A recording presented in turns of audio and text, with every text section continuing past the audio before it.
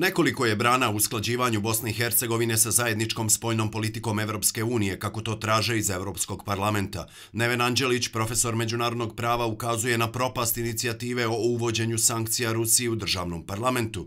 Saglasan je i da posjeta člana predsjedništva BiH Milorada Dodika Rusiji također predstavlja prepreku. Dešava se to uprkos tome što je usklađivanje spoljne politike dio usmeno prihvaćenog sporazuma u Briselu to je nešto, neki razvoj događaja koji samo kontinuirano dokazuje da političari u Bosni i Hercegovini nastavljaju svojim putem dogod ih se nasilno, prisilno ne omete u tim njihovim nastojanjima. A Evropska unija sada ozbiljnije se ponaša, izjave su čvršće, mada moram reći da uh, sam skeptičan da će išta od toga biti uh, u, u skoroj budućnosti. Unutrašnja neusaglašenost o vođenju spoljne politike zemlje i danas je došla do izražaja, dok je jedan od trojice članova predsjedništva na putu za Sankt Petersburg, pa i susret sa predsjednikom Rusije Putinom, druga ruka spoljne politike ubjeđuje u suprotno na bazi dokumenta iz Brisela.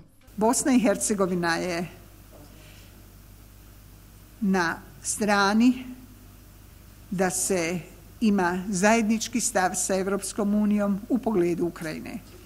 Ekonomske i energetske izazove Evropa će rješavati zajedničkim snagama i tu će Bosna i Hercegovina naći svoje mjesto. Da li je usklađivanje spoljne politike sa Evropskom unijom realno, uključujući i sankcionisanje Rusije na osnovu nategnutog briselskog za i nasuprot Dodikovim aktivnostima u Rusiji, pitali smo i državne parlamentarce.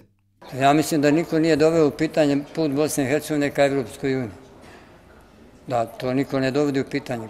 A ko će s kim sarađivati, to je sa stvar opet zajednički interesa u Bosni i Hercegovini. Pa možda će odgovor na to pitanje dati Dodik iz Moskve ili Sankt Petersburg. Ukoliko se poštuju ustav i zakoni pri donošenju odluka, a imajući u vidu podijeljeno raspoloženje i javnog mnjenja i cijelokupnog političkog spektra, sankcije Rusiji neće biti uvedene, smatra to politikolog Velizar Antić ključno pitanje je da li je to u interesu Bosne i Hercegovine da mi uvodimo sankcije, a pritom mi smo deo te e, zajednice kao što je Evropska unija.